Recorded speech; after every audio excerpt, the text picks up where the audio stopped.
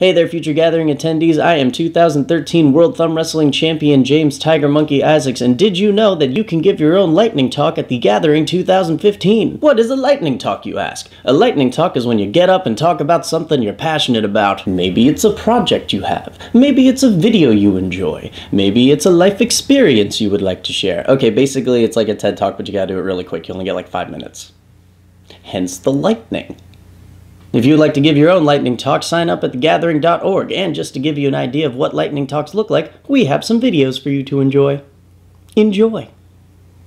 I am uh, Liam, and uh, I thought I'd talk about Heartbleed for uh, dummies because it's been such a focus in the media nowadays. Um, so I'm going to talk about what Heartbleed is, how it works, layman's, why you should care, and if there's anything you can do. Um, Heartbleed is a security vulnerability in a software library called OpenSSL.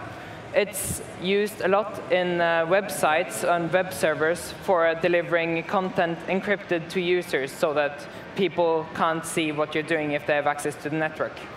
Um, it works by tricking the server into sending parts of its RAM to the attacker, which is a really serious vulnerability.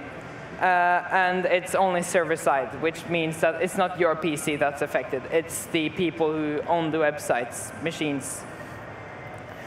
Um, so basically, how it works, um, let's say that this grid of dots is some memory. Um, in the memory, there's random stuff represented by the dots and a password for some program that the program might use in order to log into something. Uh, in this example, I just said P12. So the um, heartbeat protocol, which is a part of uh, HTTPS or TLS, works uh, by you, the user, saying, are you still here? If you are still here, respond to me with this message. And then you send how long that message is, and then the message itself. So for example, six characters potato. And what would happen then is the server would store that in memory like this. And that's OK. And then it would reply six letters from memory, which would be potato. But if you say, respond to this message with that is 27 characters long, and then only send six characters, it's actually going to put those six characters into memory, but then read 27 characters from memory and send it back. This way, hackers can probe a server's memory for uh, passwords and stuff like that by uh, looking at what they get back and seeing if there's anything interesting.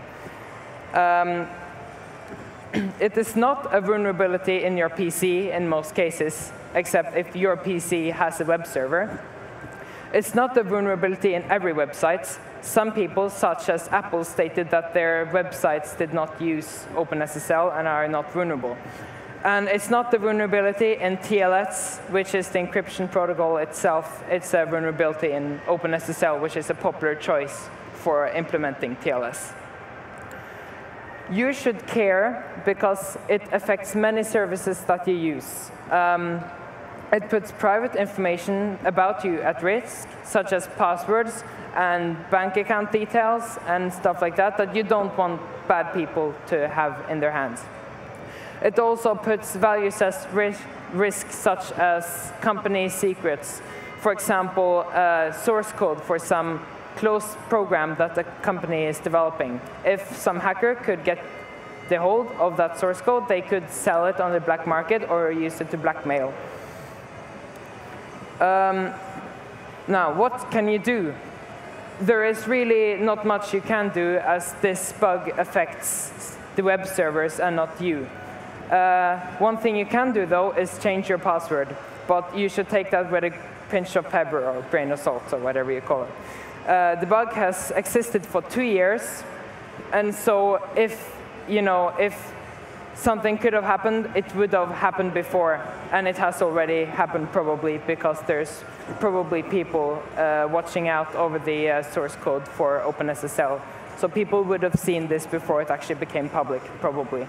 Uh, therefore, you know, um, also websites got patched pretty quickly. And if I recall correctly, it took one week for a hacker to uh, complete a challenge done by uh, Cloudflare, where you're supposed to actually be able to get an encryption key from a server that is vulnerable.